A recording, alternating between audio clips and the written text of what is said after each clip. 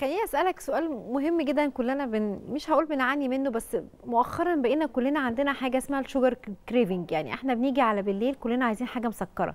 إزاي؟ بتيجي كتير قوي الموضوع. ده محمد. يعني عارف اللي هو أزمة أزمة. بنعاني منها. كلنا. نعالج ده إزاي؟ أو أتغلب على ده إزاي؟ يعني إيه بيجي لي sugar craving بيجي لي أنا sugar عايزه أكل craving حاجة مسكرة دلوقتي. آه. بالظبط. وسط اللي وأنا نايم أصحى من النوم آه أنا عايزة إيه؟ حاجة آه. مسكرة دلوقتي. الإنسولين لما نزل فأنا حبيت آكل سكر لأن استمتعت بالسكر. ده جزء من علامة إن صاحب هذا الحدث آه قرب على السكر. ما إحنا آه، عندنا دلالات مؤشر، صحيح. مؤشر. آه ده يخليه بقى في حاجة يعمل اسمها تحليل- impaired glucose. tolerance آه فهيلاقي إن ال sign بتاعه أعلى من الفاطر حتى.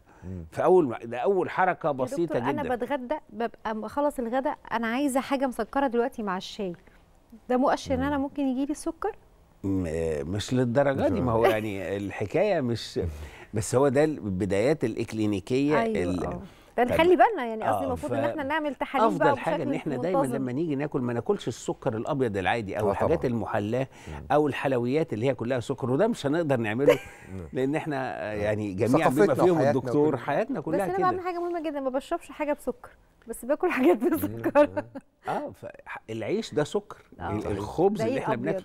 فكل ال- المخبوزات والحلويات والأكل اللي إحنا بن بنتعامل معاه كله في حتى اللحوم اللحمة اللي إحنا هقول لك أنا هاكل لحمه يعني لو قلنا 100 جرام من اللحمة ده هي فيها 27 جرام بروتين. والباقي دهون وكربوهيدرات. ف... فإحنا الأكل اللي إحنا بناكله كله فيه carbs وفيه دهن. أنا لازم أنظم فلازم آكل السكر ال- ال- اللي إحنا بنسميه complex اللي هو مش سهل على الجسم التعامل معاه بيفتته أطول. فلازم آخده جوه الخضار جوه البقول. ما زودش عن ثمرة واحدة في اليوم تمام. أبعد عن الحلويات المباشرة الشوكولاتات البسبوسة اللي فيها الحاجات سكر. المحلاه الحاجات اللي فيها كتلة سكرية ده يعني هي- نعمل لو. نظمت الحياة مع الحركة المستمرة الناس اللي بتعمل أنواع من الرياضة آه ونزود في البروتين البروتين بتاعنا يبقى حوالي 30% من الأكل اللي إحنا بناكله.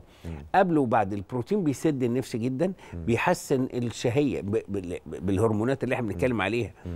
يعني بيحسن الموضوع أصل الموضوع معقد داخل المعدة وداخل مركز المخ فالبروتين من أحسن الحاجات جميل. اللي بتضيع هذا الإحساس جميل. والرياضة كمان زي ما حضرتك ذكرت ممارسة ال ال النشاط الرياضي أو المشي حتى أبسط آه، حاجة دي مهمة جدا لصحة ال الإنسان